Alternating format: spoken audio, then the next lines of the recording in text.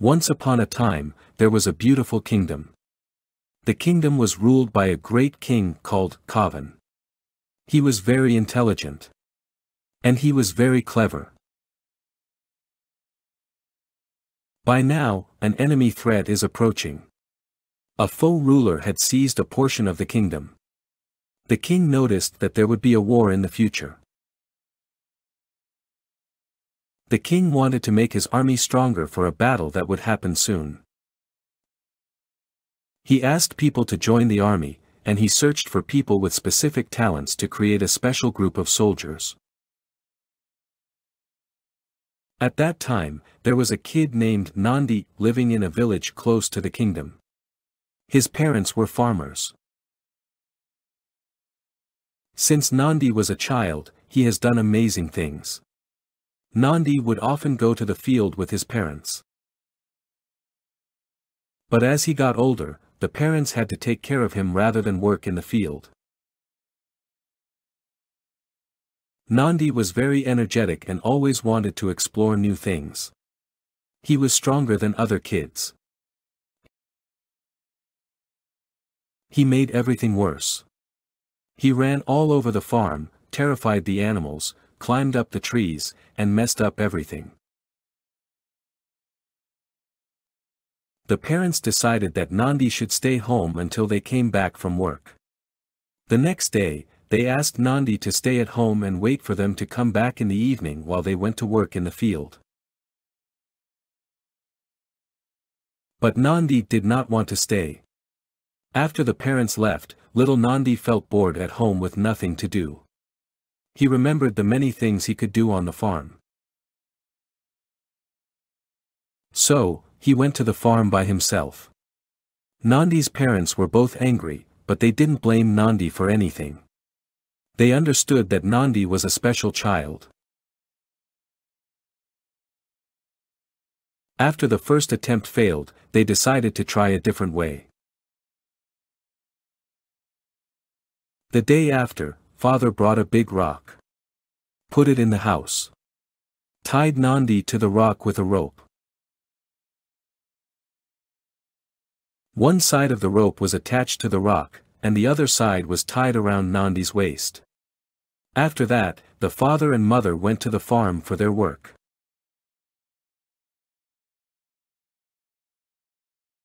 Nandi didn't stay in the house for very long. He didn't feel like doing anything. He wanted to see his parents. And he wanted to chase after the chickens. Jump over the rocks. Then he tried to go to the farm. But something stopped him. Something pulled him backward. Once more, Nandi attempted to move. He couldn't move forward. The next time, Nandi tried his best by pulling hard. The rope was broken. Little Nandi flew to the farm. The parents were surprised to see their son come to the farm with a broken rope around his waist. They realized that the rope wasn't strong enough to hold Nandi. So, the parents had to work on the farm with Nandi that day. The next day, father found a strong string instead of a rope. And tied the boy to the rock and told the boy to stay home until they came back from work. But it didn't work when Nandi got older. Nandi would come to the farm, dragging the rock with him. So, the parents used to tie Nandi to a big bamboo bush near the house when they went to work. One day, Nandi's parents were working on the farm like they usually do. They heard that people from nearby farms were yelling. They looked to find out what was happening outside. They were amazed when they saw Nandi drag the entire bamboo bush with him to the farm. At this moment, the parents were happy for their son.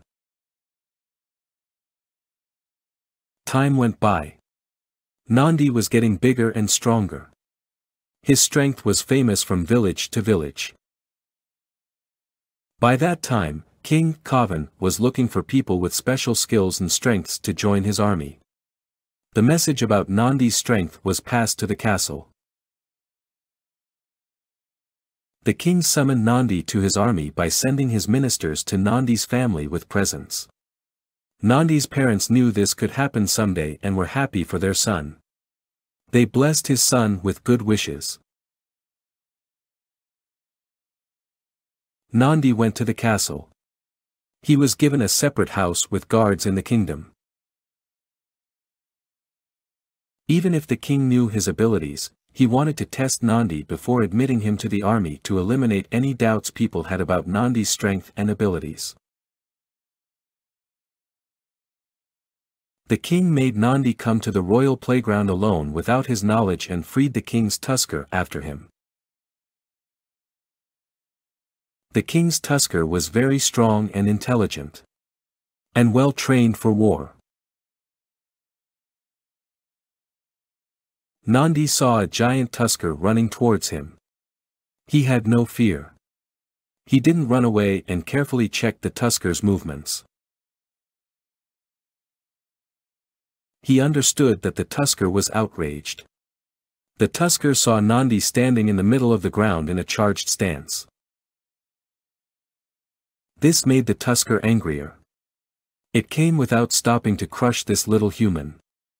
It came, stirring the dust and trumpeting loudly. Nandi did not move a bit. Tusker came and stopped at once. Both looked at each other for a moment. Nandi saw Tusker's eyes filled with anger. At once, the Tusker raised its trunk to strike. But there's no luck with Tusker. Nandi grabbed its tusks and pushed back the tusker, screaming a threat of voice. Tusker couldn't handle Nandi's power. He sat on the ground. The Tusker could not imagine what had happened and ran away from Nandi. Thus, Nandi has conquered the king's Tusker. The king was quite pleased. Nandi was added to the king's strength. It is said that the Tusker remembered this and was ashamed of its defeat. This conflict continued until the final war. In the final war, Nandi and Tusker were assigned to the same battle in the same battalion. At the final stage of the war, both had to break through a huge wall to enter the enemy kingdom. When the people failed to break the wall, this job was handed over to the king's tusker. While the tusker was successfully bringing down the wall, a part of the wall fell upon the tusker. Nandi saw that the tusker was in danger, and he quickly came to the tusker, gave the shoulder to the falling wall, and stopped with his strength until the tusker was safely removed to a safe place. The Tusker was thankful to Nandi and removed all his wrong thoughts about Nandi. They were good friends. For many years, Nandi served the king to protect the country against foes. Engaged in massive battles face to face. Lead a battalion of soldiers for the king. After a long series of fatal battles, the kingdom was stable. The king gave all the facilities, with a high rank in his army and a palace close to the castle. He lived a peaceful life in the palace while serving the kingdom and its people with his knowledge and abilities.